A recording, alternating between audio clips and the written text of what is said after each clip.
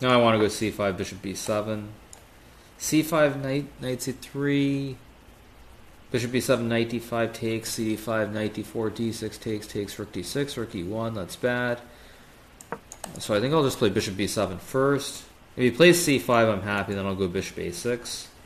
So what I was, the line I was talking about was c5, knight c3, bishop b7, knight d5, bishop d5, cd5, knight d4, trying to win the pawn on d5, d6, cd, ed, rook d6, and then he had rook fe1 because if king f6 there's knight e4, and king f8, then then my king and my rook are passive.